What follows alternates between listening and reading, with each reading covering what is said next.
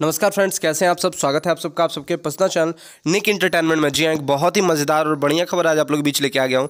तो वीडियो को लाइक कर देना चैनल को अभी तक सब्सक्राइब नहीं किया तो चैनल को सब्सक्राइब ज़रूर कर लेना। जी हाँ फ्रेंड्स, बात किया है तो आज आप लोग के बीच के चैप्टर टू के बारे में बात करूँगा। बात किया है तो के का जो फ़र्स्ट पार्ट था के के फ़र्स्ट पार्ट को लोगों ने बहुत ज़्यादा पसंद किया और बहुत ही मज़ेदार, बहुत ही बेहतरीन फ़िल्म था।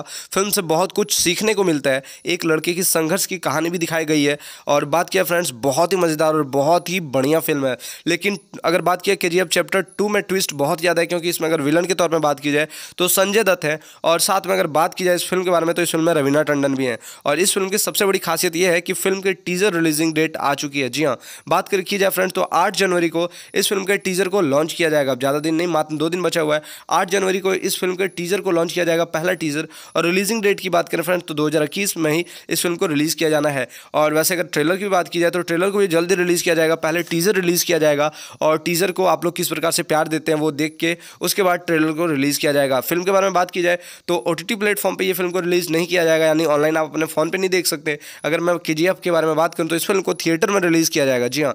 और अगर वन के बारे में बात की जाए पार्ट वन के बारे में तो पार्ट वन बहुत ही मज़ेदार था, काफ़ी ज़्यादा एक्शन था, लेकिन लास्ट की स्टोरी क्या है, नहीं है, उसमें लोग उलझ के रह चुके हैं और सबको पूरी स्टोरी देखनी कि आखिरकार आगे क्या होने वाला है, जिसके कारण बात की जाए तो चैप्टर टू का वेट लोग काफ़ी ज़्यादा कर रहे हैं और इसमें यस जो है, काफ़ी ज़्यादा बेहतरीन और बढ़िया एक्टिंग इन्होंने किया है, बहुत ही अच्छा भूमिका निभाया है और बात किया, इनके भी रोल को लोगों ने बहुत ज़्यादा पसंद भी किया है इस फ़िल्म में और यस, एक बहुत ही गुड लुकिंग बहुत ही स्मार्टनेस लुक में नज़र आए हैं इस फ़िल्म में। साथ में इनके एक्शन को भी लोगों ने बहुत ज़्यादा पसंद किया। अब ज़्यादा वेट नहीं करना है आप लोग को, मात्र आठ जनवरी को अगर बात किया, सिर्फ़ आप लोग को सीधे आठ जनवरी का वेट करना और आठ जनवरी के इस फ़िल्म के टीजर को रिलीज़ कर दिया जाएगा। तो फ्रेंड्स आज की वीडियो में बस इतना मैं फ़िल्म लूँगा आप लोग दूसरे वीडियो को लेकर के। तब तक के लिए आप लोग अपना ख्याल रखें। जय जय भारत।